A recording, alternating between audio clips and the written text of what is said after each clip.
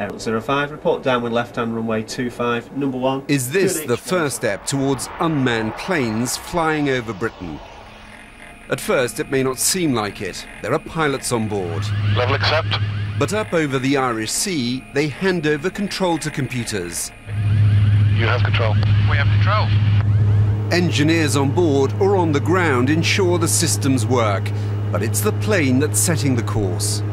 This system replaces the pilot's eyes in the cockpit. What Rod's doing at the moment is just setting up a uh, test aircraft, a synthetic intruder, to um, come and attack us, basically.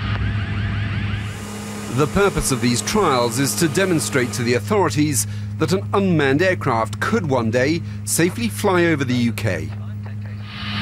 This plane is now flying remotely. It's not the pilots on board who are looking out for other aircraft. It's these computers that are able to sense and avoid other objects in the air, to avoid something like a mid-air collision. This video shows how the plane can detect potential threats.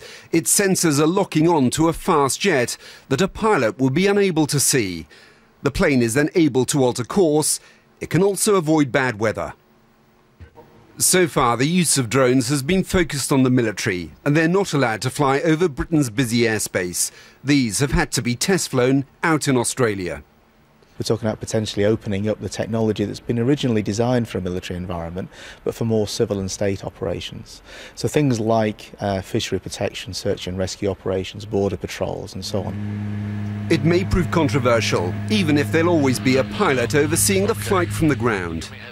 How soon will it be before the public accept no pilot on the flight deck? And I don't know the answer to that. Think about that. It's one step closer, but we're not there yet. Quite hang on, just uh, find out what's going on here. I don't quite understand that. Just take out the autopilot there for a minute. Jonathan Beale, BBC News.